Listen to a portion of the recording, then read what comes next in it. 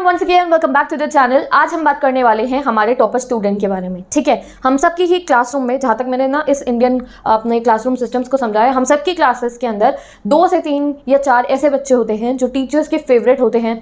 सारी subject teachers उन्हें प्यार करती हैं एंड वो हमेशा क्लास में कोई ना कोई पोजिशन होल्ड करते हैं, है ना? और हमारा क्या होता है, हम कहीं ना कहीं पे उनके जैसा बनना ज़रूर चाहते हैं, है ना?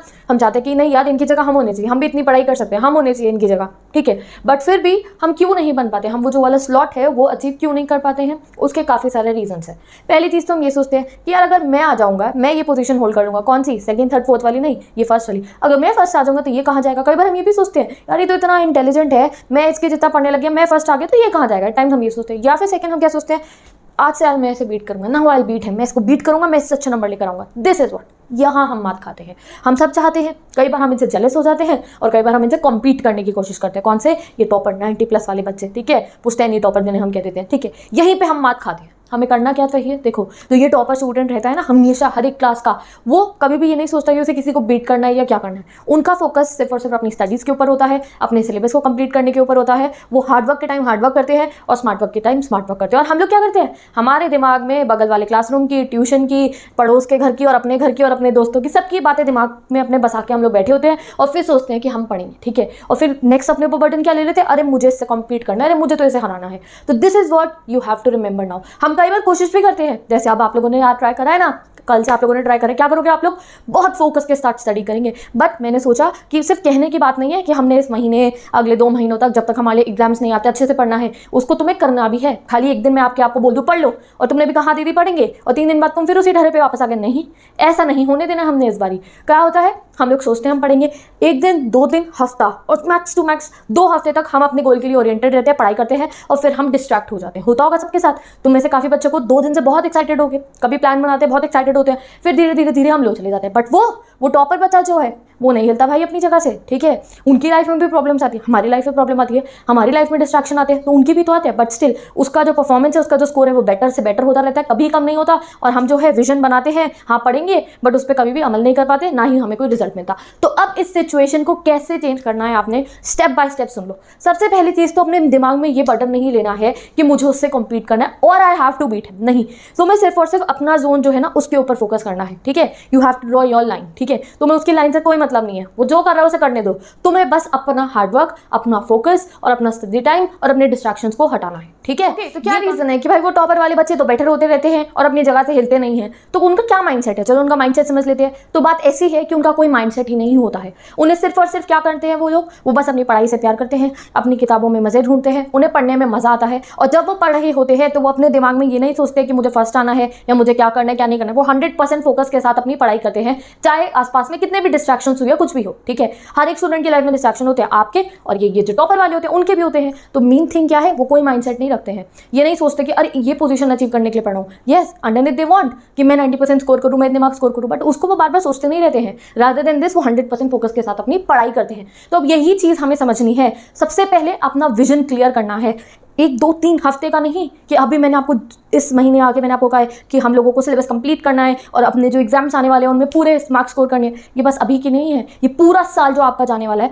उसके लिए आपको ऐसा मोमेंटम लाना है ऐसी तो अगर आप लोग ये बात समझ लो कि जिस समय मैं पढ़ रहा हूँ उस समय ना ही मुझे अपने माइंड के अंदर कोई कॉम्पिटिशन लाना है ना ही मुझे उस समय अपने माइंड के अंदर ये लाना है कि मुझे कौन से कॉलेज चाहिए ये चाहिए वो चाहिए वो सब नहीं लाना है। जिस समय मैं पढ़ रहा हूँ उस समय तो हंड्रेड फोकस मेरा मेरे चैप्टर्स में होना चाहिए। अगर मैं पढ़ाई कर रहा हूँ तो उस समय मेरे चैप्टर से रिलेटेड ही जो बात है, वो मेरे दिमाग में घूमती रहनी चाहिए। Nine tenth eleven twelfth student ninth का चैप्टर पढ़ो फंदे हाट पढ़ो तो ये सोचना कि अरे यार, ये तो सच ही हो गया, कोरोना की वजह से हमारे क्लासरूम बंद हो गए। टेंथ का कोई चैप्टर पढ़ो nationalism in India nationalism in Europe पढ़ो तो फील द पेन जो उन लोगों ने उस समय पर करा होगा नेशनलिज्म को हासिल करने के लिए। आप इलेवंथ में आते हो, आप अपनी नई नई स्ट्रीम्स यूज़ करते हो तो जब आप अपनी पढ़ाई करोगे तो फोकस वहाँ। जब ट्वेल्थ में आते हो, और वो बर्डन भी होता है हमारे ऊपर, और एक पैशन होता है नाइन्टी परसेंट लाने का तो वो बर्डन पैशन दोनों को ही हटा के आपको बस पढ़ाई पे फोकस करना है। और जब आपने ये कर लिया, देखो, सबसे पहली चीज़, देखो मैंने यहाँ लिखी हुई है। शुरुआत करनी ही सबसे मुश्किल होती है। हम लोगों ने कब से डिसाइड करे थे? अप्रैल में कहा अरे पढ़ेंगे अरे पढ़ेंगे। मई में भी कहा जून में भी कहा। बट आज जाके आज दो तीन दिनों से जाके जो है हमारे में एक स्पार्क आया कि हाँ पढ़ेंगे ठीक है? और मेरे में भी आया और तुम्हारे में भी आया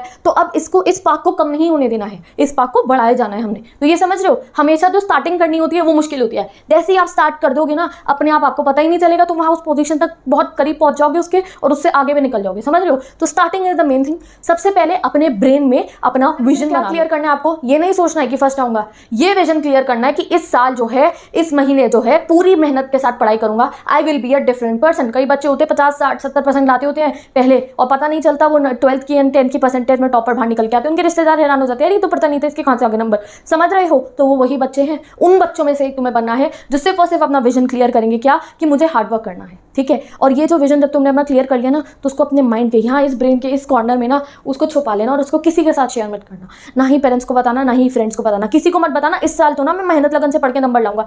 ये बात अपने मुँह से मत बोलना ठीक है? सिर्फ़ खुद को बताना और अपने दिमाग को बताना और लॉक लगा देना यहाँ पे। और फिर देखना आपकी पढ़ाई में कितनी इफेक्टिवनेस आएगी। किसी के साथ शेयर मत मुँह बंद कर लेना अपना और अपने दिमाग भी बंद कर लेना ये सोच के। तुम हो तुम्हारा हार्डवर्क है और किसी को तुम ये बात नहीं बताओगे। फिर देखना इफेक्टिवनेस आपकी पढ़ाई के अंदर कितनी आएगी। तुम्हें मन ही मन खुशी होती रहेगी यार मैं तो मेहनत कर रहा हूँ मेरे तो अच्छे नंबर आएँगे इस बार। शेयर मत करना इस बात को। सेकंड क्या विजन क्लियर कर लोगे जैसे कुछ दिनों से आपने करा भी है कि मैंने अपनी हार्डवर्क पर फोकस करना है और जब पढ़ाई होगे तो भी ये मत सोचना कि मैं फ़र्स्ट आने के लिए पढ़ा हूँ या मैं इतने परसेंटेज स्कोर करने के लिए पढ़ा हूँ। नहीं आपको ये सोचना है कि मुझे हंड्रेड परसेंट फोकस और हार्डवर्क के साथ पढ़ना है और अपनी प्रोडक्टिविटी को इंक्रीज करना है। बस और बस आपको ये बात सोचनी है कि आज दो घंटे पढ़ रहा हूँ आज दो घंटे में दो घंटे की प्रोडक्टिविटी आई है तो कल से थोड़ा स्टडी टाइम और इंक्रीज करूँगा और प्रोडक्टिविटी अपने अंदर लेकर आऊँगा। और लास्ट मोमेंट जब मेरा एग्ज़ाम का आखिरी दिन आएगा उस समय पर बस मुझे रिविजन करना पड़ेगा। ऐसा प्लान आपको अपने दिमाग में बनाना है कि मैं लास्ट मोमेंट के लिए जैसे पहले होता था मेरी सारी बुक्स पढ़ी होती थी उसमें नोट्स हाईलाइट हो रखे होते थे और मुझे सब कुछ लास्ट मोमेंट पर लर्न करना पड़ता था। अब मुझे अपने अंदर चेंज लेकर आना है लास्ट मोमेंट के लिए मुझे एग्ज़ाम में सिर्फ़ क्या करना होगा? मुझे पर रिवीजन मारने होंगे। ये आपको अपने अंदर सेकंड विजन क्लियर करना है। और फिर लास्टली क्या बात है यार? देखो, अब हम कई बार सोचते हैं, दीदी हाँ मन बना लिया, पढ़ेंगे। उसके बाद, अब हम लर्न कैसे करें? हम नोट्स ठीक से कैसे बनाए? स्टडी एक्ट्स कुछ आसान सी बातें बता दो, जिससे हमें पता चल जाए चैप्टर की एक्सप्लेनेशन वो सब के लिए चैनल लिंक गिवन है। चैनल पे जाओ, देखो so many videos are there आपको मैंने अभी कल एक बेस्ट टाइम टेबल वीडियो बताई थी, जिसके हिसाब से जो है मिनिमम चार पाँच घंटे रेगुलरली कैसे पढ़ोगे? मैंने उससे पहले एक वीडियो बनाई थी, जिससे तुम्हें मोटिवेशन से ऐसा भर देगी, जो तुम्हें दो से तीन महीने आराम से तुम्हारा जो विजन है दिमाग के दरवाजे सब खोल देगी कि कैसे पढ़ना है। सब गिवन है आई टैब में उन्हें देखो। स्टडी हैक्स देखो जो मैंने बताए हैं एंड स्टार्ट स्टडी और देखो जो मैंने समझी है मुझे तुम्हारे साथ शेयर करनी है ठीक है? It is never too late to start कई बच्चे जो है ना आखिरी में भी जो है अपनी पढ़ाई शुरू करके वो वहाँ अपना टॉप बंद कर लेते हैं उस पोजीशन तक पहुँच जाते हैं। थ्री मंथ्स में आखिरी के पढ़ के भी कर लेते हैं।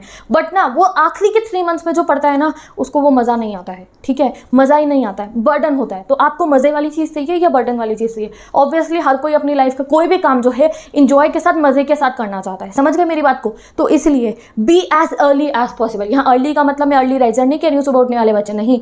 यहाँ अर्ली एज पॉसिबल का मतलब ये है, जितनी जल्दी अपना सिलेबस कंप्लीट कर सकते हो, उतनी जल्दी करो। जितनी जल्दी आप ये सोच सकते हो, हम कई बार तो है प्लान प्लान करते रहते हैं और फिर क्या करते हैं, दो हफ़्ते फॉलो करते हैं तीसरे हफ़्ते छोड़ देते हैं। तो ये एटीट्यूड ही अपना हमें चेंज करना है। हमें क्या करना है, जब तक सिलेबस खत्म नहीं होता, तब तक डिस्ट्रैक्शन को नहीं आने देंगे बीच में। और जब सिलेबस कंप्लीट हो जाएगा, फिर ये करना है, अब रिविजन करना है, अब भी कैसे आने दे डिस्ट्रक्शन को बीच में? फिर जब रिविजन कंप्लीट हो जाएगा, फिर क्या? अरे, अब तो एग्ज़ाम्स ही आ गए एग्ज़ाम्स के लिए तो पढ़ना ही है हमारे को। ऐसी आपको अपनी अप्रोच लेती हुई चलनी है। उसके लिए I am always there with you और लास्ट चीज़ यही कहूँगी कि वो दिमाग में छोड़ दो। फ़र्स्ट आना है सेकंड आना है थर्ड आना। है इतना करना है इतना करना है इतना करना। है नहीं रखना वो चीज़ अपने दिमाग के अंदर लॉक करके। और जब पढ़े हो तब हंड्रेड परसेंट फोकस अपनी पढ़ाई के ऊपर। और यही हो और यही चीज़ें हैं जो स्टॉपर बच्चे की जो परफॉर्मेंस है उसको बेटर करती रहती है और कम नहीं होने देती है। क्या? कि उनका कोई माइंड ही नहीं होता। जब पढ़ रहे हैं हंड्रेड परसेंट फोकस और मज़े के साथ पढ़ेंगे और टेंशन नहीं लेंगे। तो with this I meaning this video तो आप आज से समझ जाओ जितना जल्दी स्टार्ट कर सकते हो उतना जल्दी स्टार्ट करो। आज क्या है? अब जुलाई चल रही है। जिस भी महीने में आप ये वीडियो देख रहे हो